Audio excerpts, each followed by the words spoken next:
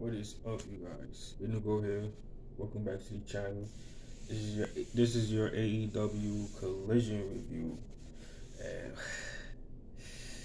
yo, shout out to FTR and shout out to Bullet Club Gold, um, Jay White and Juice Robinson, cause holy shit, yo, these, these two teams they they got something here.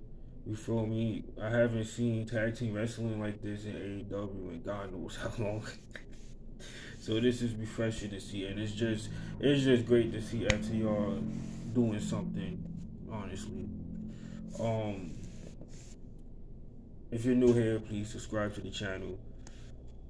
Analytics say that some of you are not subscribed, but do check out some of my content. So please subscribe if you're not already. Like comment if you saw the show. I'm curious to hear what you thought about the tag team match and everything else that happened tonight. And if you missed any videos on the channel, check it out. Ricky Starks.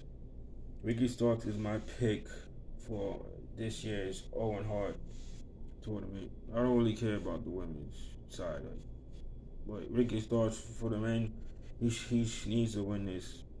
CM Punk doesn't need this.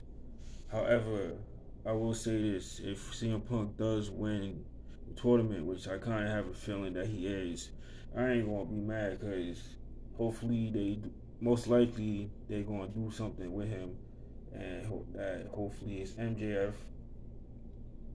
Feel like that match should happen at Grand Slam because we need some, we need a big match to sell the show, and I'm going, so I wanna, you know, look forward to something.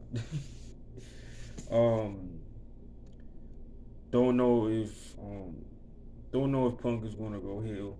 Technically, he's he's heel now, but you you know what I mean, like full blown with it. Pause.